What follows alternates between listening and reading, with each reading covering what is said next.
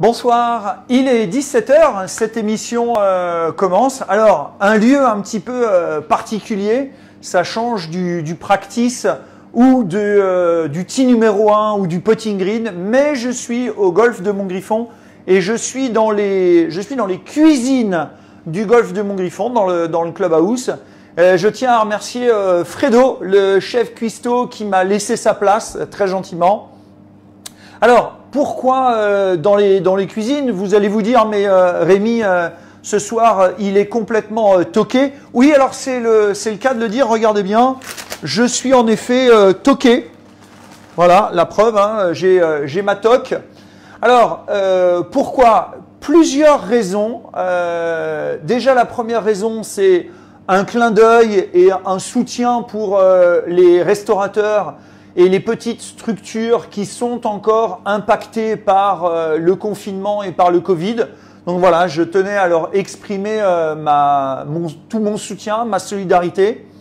Et puis parce que le thème de ce soir, eh bien, c'est la recette du succès et euh, nous allons voir justement comment, ben, comment progresser au golf et à la façon d'une recette de cuisine. Voilà, donc ça y est, la, euh, le, live du journal du golf est lancé. En avant, Euh, je vais essayer de, suivre en même temps sur, le, sur mon ordinateur pour euh, répondre à vos questions et puis que je puisse faire un live qui soit convivial et interactif et que je puisse savoir si vous êtes là et quelles sont vos questions? Alors, hop, j'essaye de vous trouver. Je sais qu'il y a toujours un petit peu de décalage.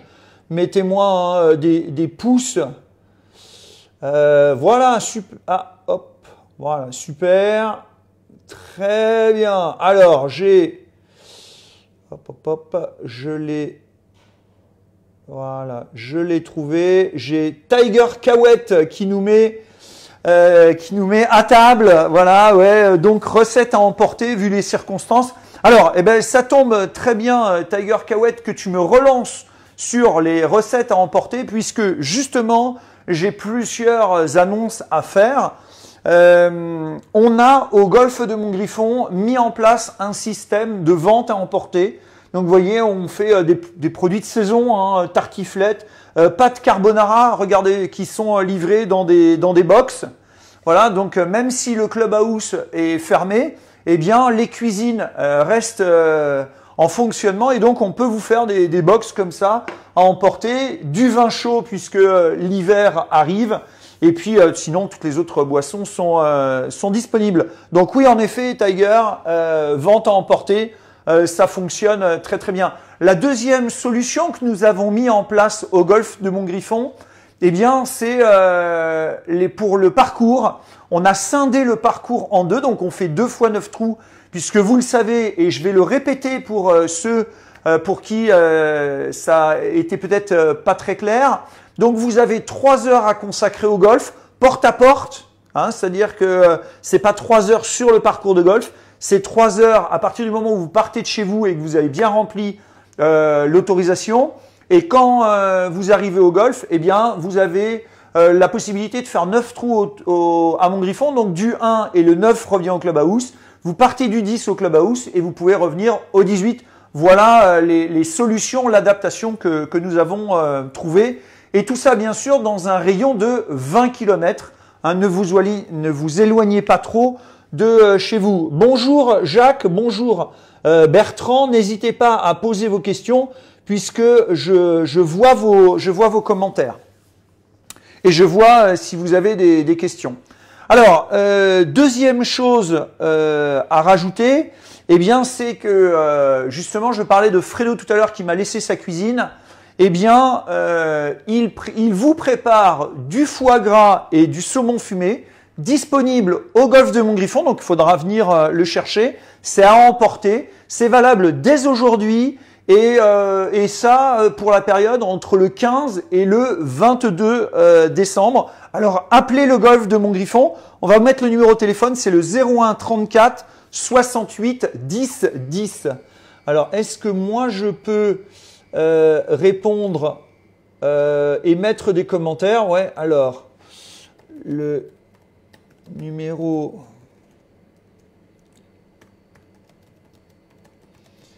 du golf de mon griffon.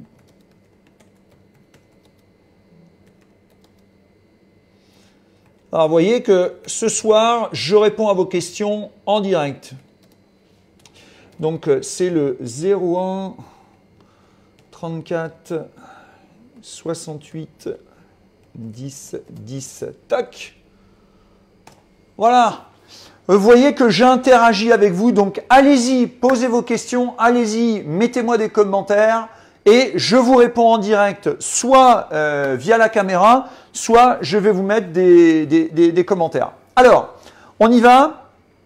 Euh, pourquoi j'ai choisi euh, cet exemple et cette image et pourquoi j'ai voulu illustrer ça dans la cuisine? Parce que vous avez reçu pendant le confinement beaucoup d'informations et c'est ce que moi j'ai appelé beaucoup d'ingrédients. Vous avez eu beaucoup d'exercices, vous avez eu beaucoup de conseils. Donc il est temps, euh, bravo au Tiger, merci Tiger, Tiger qui est, qui est très, euh, très réceptif. Voilà, euh, Bernard, bonjour Bernard de la Fournière. Salut, Jacques qui dit des sandwichs pour neuf trous. Ouais, on fait ça aussi. Euh, donc vous avez eu beaucoup d'ingrédients, vous avez eu beaucoup d'exercices, vous avez eu beaucoup de solutions qui vous ont été euh, proposées. Eh bien, et c'est pour ça que je fais ça, euh, c'est que maintenant que vous avez beaucoup d'ingrédients, il va falloir savoir les utiliser et c'est ce que j'appelle savoir cuisiner. Donc c'est vraiment le thème de ce soir, faire le tri dans tout ce qu'on vous a tout ce qu'on vous a dit, tout ce que vous avez été chercher sur Internet, dans les livres, dans les webinars, et savoir le mettre en place. Alors déjà, la première chose pour organiser votre entraînement, c'est de prendre conscience qu'il y a plusieurs euh, façons de s'entraîner. Alors la première façon de s'entraîner, et celle que, euh, que vous utilisez le plus, c'est le mode répétition. Donc le mode répétition, euh, c'est quand vous avez votre saut de balle, vous versez votre saut de balle et euh, vous tapez. Alors là, la mise en garde, la chose que je peux vous, dire, c'est que il faut que euh, vous vous assuriez que ce que vous faites quand vous faites des répétitions soit qualitatif. Vous connaissez mon slogan, s'entraîner c'est bien, s'entraîner bien c'est encore mieux. Donc mettez en place des moyens pour contrôler la qualité de votre entraînement, ce que j'appelle des outils de feedback. Donc, vous l'avez vu par exemple, la semaine dernière, nous étions à Golf Atome à Lille dans le showroom où il y avait plein d'outils pédagogiques. Les outils pédagogiques vous permettent, s'ils sont bien choisis, s'ils correspondent à ce que vous voulez faire, vous permettent justement d'évaluer la qualité de votre entraînement. Donc voilà, ça c'est la première chose lorsque vous entraînez en répétition. La deuxième chose, et que je vous conseille, c'est de vous entraîner en adaptation. Alors l'adaptation, c'est quoi? C'est quand euh, vous allez varier les cibles en direction et en profondeur. Vous pouvez même varier vos trajectoires en termes de hauteur de balle et évidemment changer de club et n'hésitez pas à faire comme si c'était un parcours. Donc par exemple, vous allez euh, dans votre sac, vous prenez un fer 7, vous tapez un fer 7 en direction d'une cible par exemple qui est à gauche à 100 ou 150 mètres, hein, suivant vos, vos possibilités. Et puis après, hop, vous changez, vous prenez un sandwich, vous visez à droite vers une cible qui est à 20 mètres. Puis après, vous prenez votre driver, bing, vous tapez au milieu, et ainsi de suite.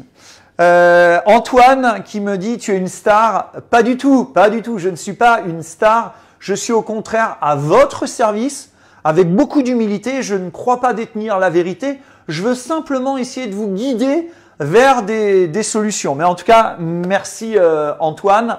Et Antoine, hein, tu as vu, on, a refait un clin d'œil sur euh, la caverne d'Alibaba de, de Golf Atom avec euh, tous ces outils. Donc, vous les avez notés. Donc, il y a le mode répétition, le mode adaptation, et puis il y a le mode évaluation. Alors, le mode évaluation, il sert à quoi? Et vous allez, en l'occurrence, feedback ah, excellent euh, Bernard, excellent le petit jeu de mots entre feedback et food, euh, foodback. Pas mal. Je vais mettre un, tiens, je mets un petit cœur pour, euh, pour Bernard. donc le mode évaluation, Euh, pourquoi il est important? Euh, Je vais vous prendre une anecdote qui m'est arrivée ce week-end. J'ai une, une, jeune fille qui arrive au practice, elle va se reconnaître, hein, euh, Manon. Et Manon me demande, oui Rémi, est-ce que tu trouves que j'ai grandi? D'accord? Et là, je lui dis, écoute Manon, si tu veux savoir si tu as grandi, ça n'est pas à moi de te le dire, ça n'est pas non plus à toi euh, de l'estimer, c'est quelque chose qui peut être factuel. Si tu veux mesurer si tu as grandi, eh bien ce qu'il faut faire, c'est tu te mets contre un mur et régulièrement euh, tu fais un trait au-dessus de ta tête et là tu vas voir si tu as grandi. Euh, est-ce que vous comprenez la similitude avec le golf? C'est que si vous voulez savoir quels sont vos points forts, quels sont vos points faibles et comment travailler et est-ce que votre travail porte ses fruits Eh bien moi ce que je vous conseille c'est de vous évaluer et surtout de faire ce que j'appelle un état des lieux et de faire un état des lieux régulièrement. Je dis toujours, si tu veux savoir où tu vas, il faut déjà savoir d'où tu viens. Donc sachez d'où vous partez, d'où vous commencez, quel est votre niveau de départ, et puis ensuite vous pourrez évaluer vos progrès. Alors pourquoi euh, Osmani de euh, Gamart, salut, ouais. Ah, les, Tunisiens sont, les Tunisiens sont présents. Euh, alors, je salue évidemment les Tunisiens, les Marocains, les Algériens aussi, pour qui je, fais des formations. voilà, de, de, tout cœur avec vous. Donc, pourquoi évaluer sa progression? Est-ce important? Parce que c'est comme ça que vous allez construire votre confiance. Alors, pourquoi? Vous allez me dire, eh bien, en fait, quand on veut avoir confiance, la confiance, elle se construit sur la prise de conscience de ses compétences. C'est-à-dire que je peux avoir confiance en moi à partir du moment où j'ai vu que j'avais des compétences et que euh, j'avais progressé. Ok, donc le mode évaluation est euh, très important. Alors, euh, dans la continuité de, de l'évaluation, eh bien évidemment, il y a la performance. Donc là, la, la perf, c'est justement quand vous connaissez votre niveau et que vous vous challengez, vous dites, OK, je suis capable, par exemple, de mettre euh, 5 balles sur 10 euh, dans un cercle de 2 mètres autour du trou sur un chip roulé. OK, voilà, c'est votre niveau, hein, ne vous comparez pas par rapport aux autres, c'est votre niveau de jeu. Et là, vous vous dites, OK, j'ai pris, euh, j'ai regardé une vidéo, par exemple, sur les approches roulées et je me suis aperçu que pour les approches roulées, et là on peut décliner la recette, vous la connaissez. Pour les approches roulées, on met la balle au pied droit. Euh, on prend un grip spécifique pour les approches roulées, donc un grip dans, le, dans la paume de la main. Ensuite, je me rapproche un petit peu donc de, de la balle. Mon club est posé légèrement sur la pointe. J'ai mon sternum qui est légèrement devant la balle. Et là, ensuite, j'ai les pieds serrés de façon à pouvoir tourner. Et là, maintenant, je fais mes, mes petites chips roulées. Eh bien, je me laisse un petit temps d'entraînement. Et puis après, mais je vais comparer mon score. Et je vais me dire, tiens, en utilisant euh, les, chips, euh, les chips roulés, euh, avec la façon euh, dont j'ai appris pendant le, le confinement, est-ce que je suis meilleur que de la façon dont je le faisais avant, c'est-à-dire balle au milieu des pieds, les pieds écartés, avec un grip normal et où je mettais beaucoup de poignets. Eh bien ça, ça vaut le coup d'évaluer votre niveau avant, de faire de la perf et de voir si vous progressez. Alors il y a la perf et il y a, et nous on aime bien ici euh, utiliser ce, mot, et je fais un clin d'œil à Ilya Goronescu, euh, qui reconnaîtra la, cuisine s'il nous regarde, hein. c'est le responsable du centre de performance au golf de Montgriffon. Et on appelle ça, nous, l'ultra performance. Alors l'ultra performance, c'est quoi? Eh bien, c'est justement quand on se challenge et quand on euh, se fixe un objectif. Et tant que l'objectif, tant que la tâche n'est pas réalisée, eh bien, on reste là. C'est-à-dire que euh, je me dis, par exemple, tiens, je vais rentrer euh, 10 potes sur 10 à 1 euh, mètre. Ben, si par exemple j'en rentre 9, ben, je recommence à zéro. Voilà, ça c'est l'ultra performance. Je me mets sous pression et ce mode d'entraînement va nous permettre ensuite de, euh, de pouvoir emmener notre savoir-faire sur le terrain en compétition. Alors évidemment, je disais tout à l'heure, hein, il faut que l'entraînement soit le plus proche possible de la réalité. Et donc ce que je vous conseille, c'est d'éviter les tapis si vous le pouvez et d'essayer de vous entraîner sur herbe. Et puis de varier les, cibles, c'est ce que j'ai appelé tout à l'heure le mode adaptation.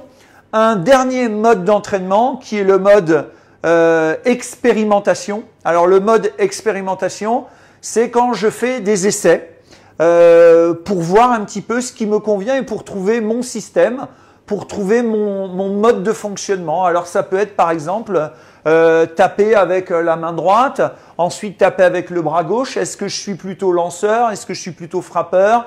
Euh, je m'appuie plutôt sur les pointes de pied, je m'appuie plutôt sur les talons, j'essaie de jouer pied serré, j'essaie de jouer pied croisé. Je vous avais proposé des expériences, hein, si vous retrouvez en replay euh, les, les, lives que, que, nous avions fait ensemble. Euh, par exemple, sur euh, je chip avec une seule main et je chip avec une baguette sous le bras. Et je vous avais demandé d'essayer ces deux façons de faire et de voir celle qui vous convenait. Est-ce que vous êtes plutôt euh, chippé avec le corps ou est-ce que vous êtes plutôt chip avec les mains? Voilà. Alors, hop, je remets les modes d'entraînement. Vous voyez, je le fais vraiment en live avec vous. Alors, les différents tocs modes, les différents modes d'entraînement. Donc, j'ai dit adaptation, répétition, après euh, donc euh, évaluation, performance, et expérimentation. Tac. Voilà, hop, c'est parti. Donc évidemment, hein, si vous avez euh, des questions à poser, allez-y, posez-les. J'ai Martin qui est derrière l'écran hein, si euh, mon ordinateur n'est pas assez réceptif. Martin, euh, il y a des questions, il y a des choses qui se passent Non? Ok, tout se passe bien Impeccable Ok. Alors, on continue j'ai, ah, je vois en même temps, hop, voilà, je mets un petit cœur à Osmani qui, qui, nous, qui nous suit. Ok, donc là, j'étais sur les modes, j'étais sur les modes d'entraînement. Alors, on y va, on va décliner donc notre, notre, notre recette. alors, vous avez vu hein, que j'ai, j'ai quitté ma, j'ai quitté ma toque. Voilà, j'ai quitté ma toque juste avant de, commencer la recette. Évidemment, hein, le gel hydroalcoolique, donc euh, rassurez-vous, euh, tout, est, euh, tout est clean. Donc, les ingrédients de la recette que je vous propose ce soir, eh bien, ce sont des ingrédients pour aller plus loin. Donc, vous aurez la, vous aurez la recette, hein, puisque je vais essayer de faire un copier-coller de cette recette si ça vous intéresse. Donc, si vous êtes intéressé pour avoir la recette, eh bien mettez-moi euh, un, petit, mot, un petit encouragement avec euh, Rémi. Oui, euh, ta recette m'intéresse. Alors le premier ingrédient pour aller plus loin, eh bien c'est un, le premier ingrédient qu'il vous faut, ce sera le centrage de, la frappe de balle. Hein, ça sert à rien pour l'instant de générer de l'énergie, créer de l'énergie si on la restitue pas dans, dans la balle. Hein. Donc, le point numéro un, c'est euh, centrage de, la balle. Vous avez vu, hein, c'est hop. Allez, un centrage de balle, un centrage de balle, c'est parti, en avant. Ah, Bernard qui me met oui, chef. Et Jacques qui me dit l'idéal quand on est assez feignant comme moi, c'est de faire 9 trous. Alors Bernard, si tu veux la recette, regarde bien. Alors, hop, je vais t'envoyer cette recette. Alors, hop. Toc, toc. Hop. Euh, alors.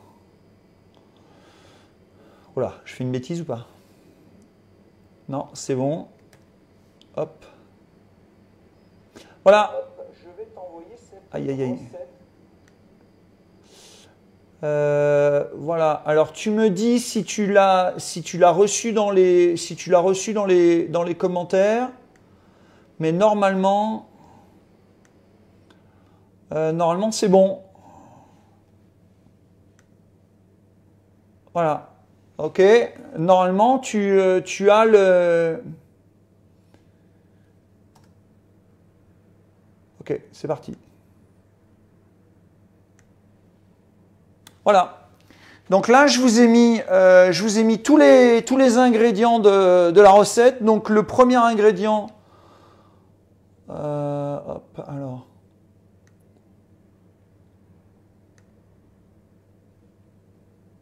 Voilà, je suis revenu. Alors, Patrick, je suis preneur de, la recette. Alors, attends, toc. Voilà, vous me dites hein, si euh, vous me dites si vous l'avez. Je te toc, je te la remets. Voilà. Ok, c'est bon. Et Martin, normalement, tu dois voir aussi. C'est bon, hein? J'ai mis la recette. Ok, super. Donc, vous avez la recette. Le premier ingrédient, c'est le centrage de la frappe de balle. Alors, maintenant que vous avez la recette, moi, ce que je vous conseille, c'est de prendre un papier et un crayon et de bien noter euh, les ingrédients, j'allais dire comment nous allons les cuisiner. Et c'est pour ça que nous sommes dans ce lieu. C'est pour vraiment faire un parallèle entre la cuisine et l'entraînement de golf. Donc pour le centrage de la balle, euh, il vous faut, hein, c'est vraiment une recette, il vous faut soit une étiquette autocarbonée que vous allez coller contre votre face de club, ou alors une bombe euh, de spray. Alors, vous pouvez la commander chez Golf Atom. Euh, Antoine, va, ça va le faire sourire. Ou alors, sinon, c'est du spray pour les, pour les chaussures. Voilà. Et si vous avez la chance d'avoir un Trackman, eh bien, vous regarderez la colonne Smash Factor. OK Voilà. Donc, même si votre pro vous loue ou vous prête le, le Trackman, vous lui demandez juste cette, cette case-là à regarder donc le centrage de balle pour voir où, où vous frappez la balle. Sinon, vous prenez votre balle, vous prenez un marqueur, toc, vous faites un trait sur votre balle avec le marqueur, vous mettez le trait face à votre face de club, et quand vous allez taper, ça laissera un trait sur votre face de club qui vous permettra d'identifier où est-ce que vous avez euh, centré la balle. Voilà, donc euh, c'est bon pour ça, donc ça c'était le centrage de balle un autre ingrédient que j'ai mis dans ma, liste, c'est avoir du matériel adapté. Alors n'hésitez pas, puisque euh, maintenant les fittings sont sont offerts euh, avec votre série, ils sont gratuits, donc les, les fitters sont à votre disposition. Soit les fitters de marque, soit les responsables de boutique sont capables de trouver le matériel qui vous convient. Alors, dans le matériel, euh, ce à quoi il faut faire attention, c'est bon, vous avez votre papier, votre crayon, vous êtes prêt à noter, vous avez votre petit, votre petit euh, carnet. Donc, il faut noter, un, le loft du club.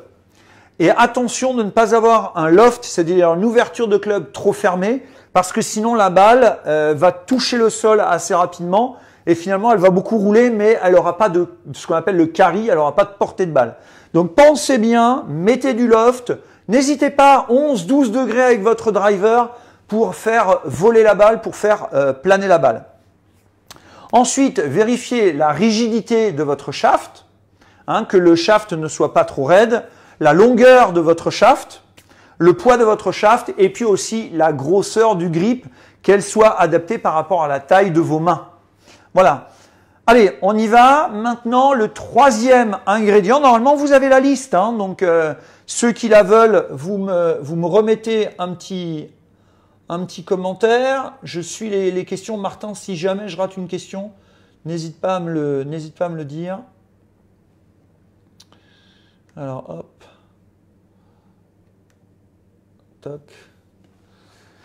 Alors, euh, toc, euh, je suis preneur de la recette, je, je l'ai donné.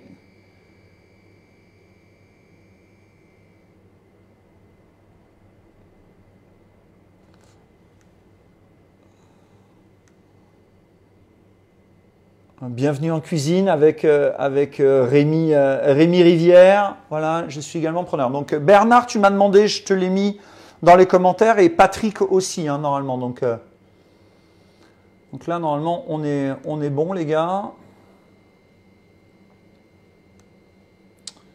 Tac. Voilà.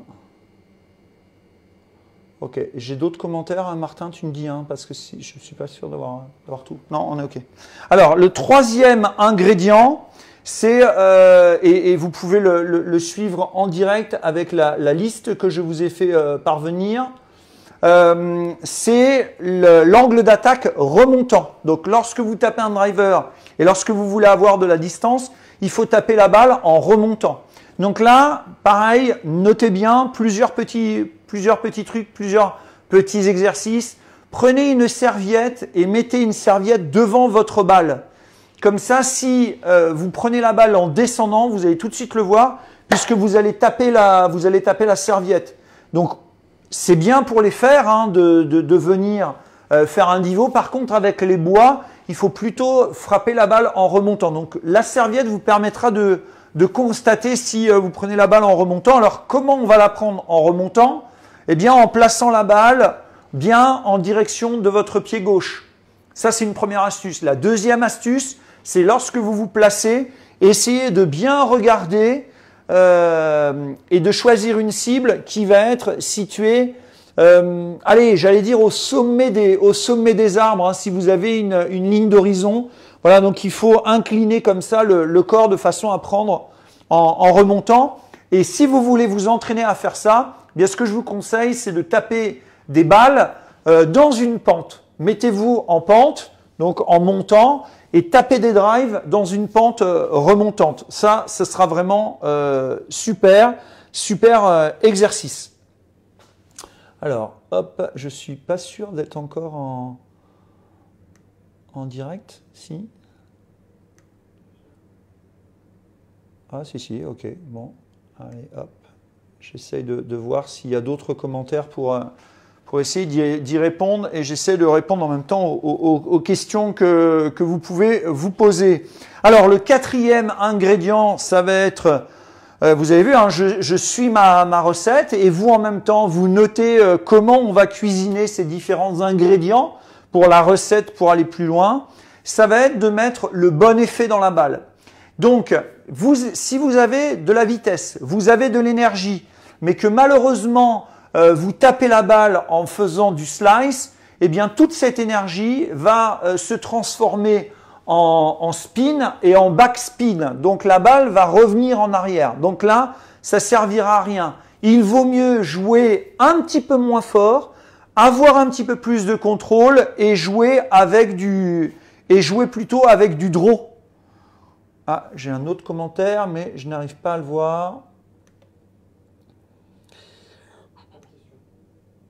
Ah, c'est euh, Frédéric Minois qui fait bonsoir. Hop, tiens, je vais mettre un petit, mettre un petit j'aime. Voilà, Frédéric, tu viens d'arriver. Regarde en replay puisqu'on est en train de faire, on est dans la cuisine du golfe de Montgriffon et on est en train de faire la recette euh, de comment aller plus loin. Et donc, je donne les ingrédients et les petites astuces pour, entre guillemets, les cuisiner. Donc là, on en était au quatrième, c'est avoir le bon effet, donc un effet de draw.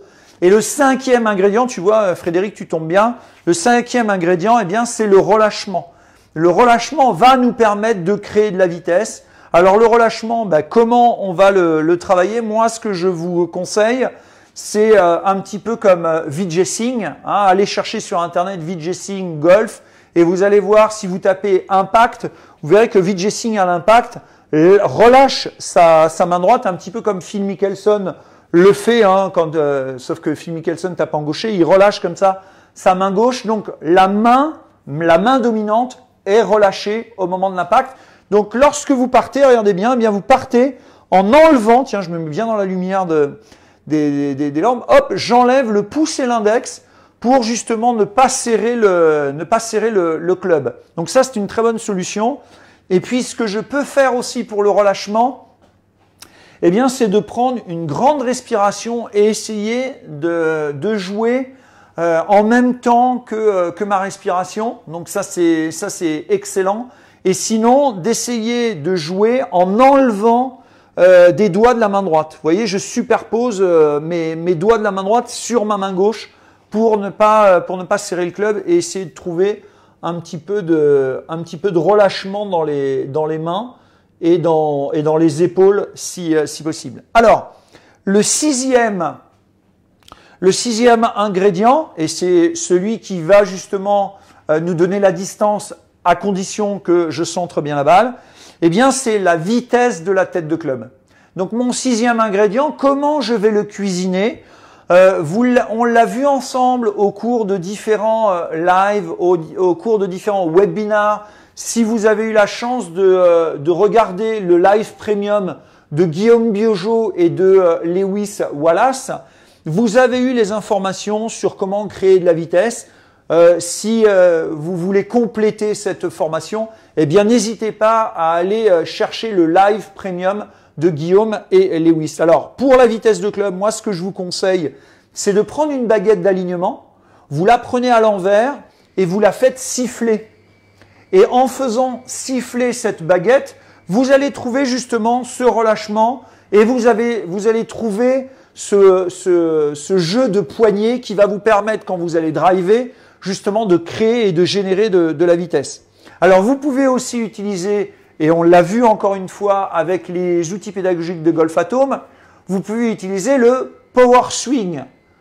Donc notez-le, allez chercher sur Internet, allez chercher la vidéo que nous avons fait euh, à propos du Power Swing. Donc Power P-O-W-E-R, Swing S-W-I-N-G. Alors, Tiger me met un club euh, lesté à l'extrémité permet-il de mieux apprendre le relâchement euh, devise à la mode actuellement Oui, euh, Tiger, euh, tout à fait. Et là, tiens, je, je, vais te répondre. Alors, toc, je mets j'aime. Un outil dont je n'ai pas. Alors, répondre. Alors, pourquoi je ne peux pas répondre à Tiger?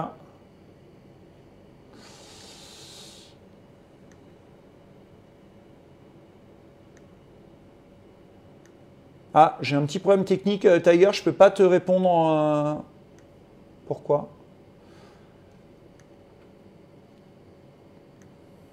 Alors, j'essaie de revenir. Euh, Tiger, je, réponds oui à ta question. Et en fait, ce que je voulais t'écrire, justement, c'est que tu peux, le, faire avec les, super speed. C'est un, très bon un très bon moyen de, travailler. Ok, bon, je n'arrive pas à le faire en même temps, dommage. Mais en tout cas, euh, oui, oui, on peut le, oui, on peut le faire avec le, avec le super speed. Martin, si j'ai un petit problème, tu me dis si j'ai des questions. Donc là, je réponds à celle de Tiger. Il me dit oui avec les clubs listés, euh, les super speed. Euh, ou alors euh, aussi avec le club à l'envers, si jamais vous n'avez pas de stick, si jamais vous n'avez pas de power swing ou de super speed, eh bien vous pouvez prendre votre club à l'envers et faire siffler euh, comme ça votre, votre club. Voilà, donc ça c'est l'ingrédient numéro 6, c'était pour la vitesse du club et créer de la vitesse. Alors évidemment, euh, la vitesse, c'est bien, mais il faut la créer au, bon moment. Et euh, quand je dis la créer au bon moment, c'est avoir le bon timing. C'est-à-dire que si vous relancez la vitesse euh, trop tôt, la vitesse, elle va être avant la balle. Et là, ça ne vous servira pas. Donc il faut vraiment que la vitesse soit à l'impact et à travers l'impact. Donc moi, là, un exercice que je conseille souvent que vous m'avez déjà euh, entendu et vu faire au practice, eh bien, c'est euh, lorsque je lâche la main droite pour euh, justement allonger les bras et être dans un mouvement de lanceur plutôt que dans un mouvement de frappeur. D'accord? Donc la vitesse, c'est bien, il faut centrer dans la phase de club et il faut l'avoir au bon moment, c'est-à-dire à l'impact et, à travers l'impact vers la cible. Et puis alors notre septième ingrédient de, notre recette pour aller plus loin euh, ce soir, eh bien, c'est le physique. Alors, rassurez-vous, je ne, vous conseille pas et je ne vous dis pas qu'il faut avoir le, le physique de Bryson de Chambaud, mais quand même, euh, c'est bien, euh, par exemple, de penser physiquement à s'échauffer avant de commencer une séance à l'entraînement. C'est bien aussi de commencer euh, le parcours avec un échauffement pour être efficace dès les premiers trous. Donc le physique, ça ne signifie pas qu'on va faire de la musculation. Le physique, ça veut tout simplement dire euh, être, euh, prendre soin de soi pour être efficace à l'entraînement et sur les premiers trous d'un parcours. Le physique, ça veut aussi dire travailler la souplesse, l'élasticité. Donc pour les joueurs qui sont plutôt en, dissociation, pour les joueurs qui sont plutôt associés, eh bien ce que je vous conseille pour avoir un peu plus de puissance, eh bien c'est de ne pas hésiter à lever le, talon gauche à la montée pour venir justement s'enrouler et venir charger à droite pour après dérouler sur le, sur le pied gauche. C'est aussi ça, euh, le, physique et le travail physique. C'est se servir de son, bon système, de sa bonne euh, préférence motrice. Voilà, j'ai prononcé le, mot. Et puis euh, aussi gagner en explosivité. Donc quand vous faites de la préparation physique, euh, ça sert à rien d'utiliser des poids et haltères. Vous pouvez faire par exemple de la corde à sauter.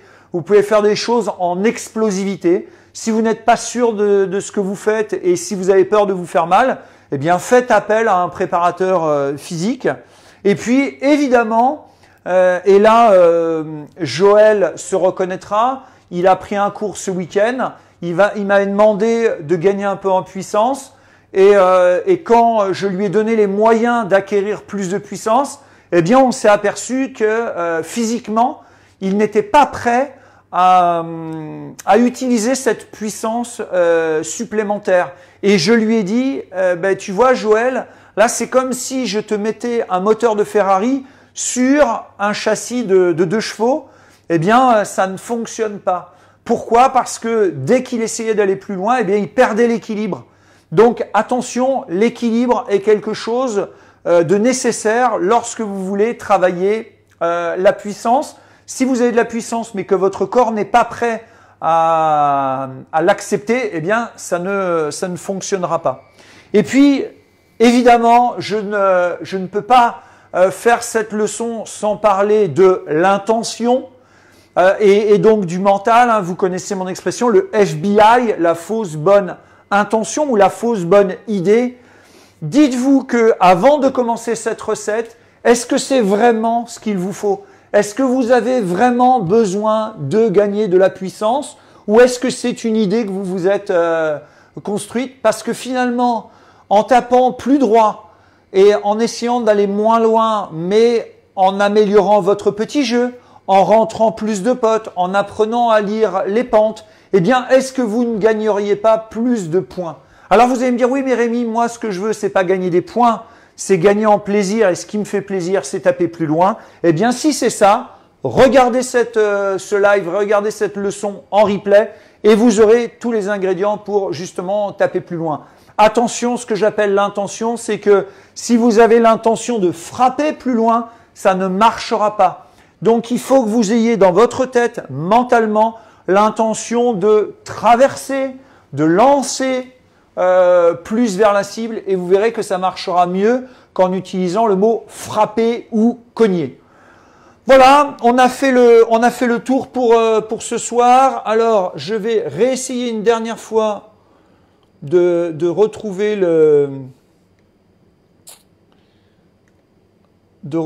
les, commentaires. Voilà, bon, si ça ne fonctionne pas, rassurez-vous, hein, je, regarderai euh, tout à l'heure en rentrant à la maison j'essaierai de, répondre. Ah, Frédéric, ah, ça y est, j'ai retrouvé les.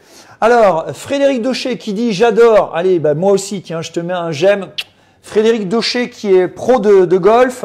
N'hésite pas, par exemple, tu vois, euh, Fred, en, regardant la leçon, euh, si tu as des commentaires à faire, euh, vas-y, toi par exemple, Fred, quel serait ton meilleur conseil pour gagner de la puissance? Fais-nous partager entre guillemets tes secrets de tes secrets de, chef. ah, Fred qui nous met un grand chef se Rémi. Il manque la toque. Non, regarde Fred, tu as le temps de faire une capture d'écran. Celle-là, elle est pour toi. Fred, voilà, j'ai ma toque et j'assume mon côté euh, toqué. Je pense que le golf, est un jeu où il ne faut pas se prendre au sérieux. Et la preuve ce soir, on peut être sérieux, avoir un contenu sérieux sans se prendre au, sérieux. Voilà, j'espère que la démonstration est faite ce soir. Sérieux, sans se prendre au sérieux, bonne recette, avec de bons ingrédients. Je, super pour, pour Fred. Peut, Nicolas Daublin qui dit, peut-on s'entraîner en faisant un pas vers l'avant après l'impact afin de gagner de la vitesse pour faire plus de distance et mieux engager le, le corps? Alors, Nicolas, oui et non.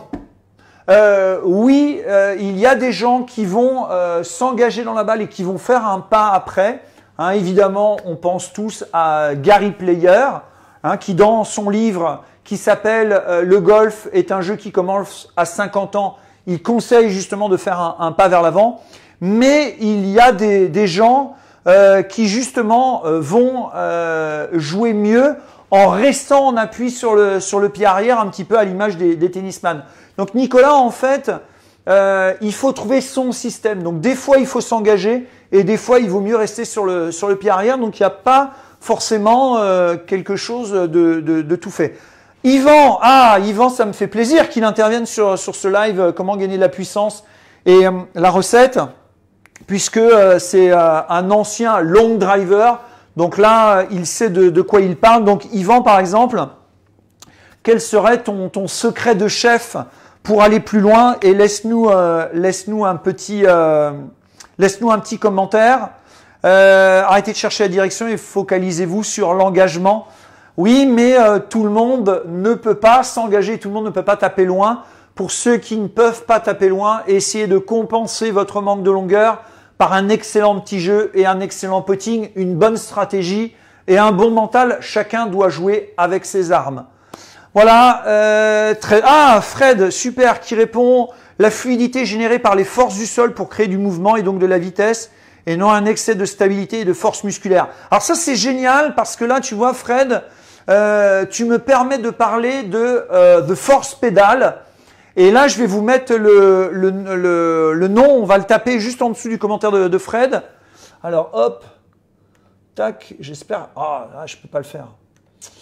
Euh, ok, c'est pas grave. Mais euh, ouais, The Force Pedal, on en a parlé ensemble lors d'un lors d'un live où je parlais d'outils pédagogiques et où je parlais d'expérimentation. Alors, The Force Pedal, c'est euh, une demi-sphère euh, en caoutchouc à, fait exprès pour justement appuyer dessus pendant le swing et ça restitue l'énergie euh, générée par le sol et, et, et ça vous fait complètement rebondir du, du, sol et ça vous donne une, énergie supplémentaire, l'énergie du, sol. Alors Fred, ah, tiens, je, vais, j'espère. Toc, voilà, je t'ai mis, mis un, j'aime parce que j'ai super, super apprécié ton, ton commentaire. Voilà, une, fois de plus.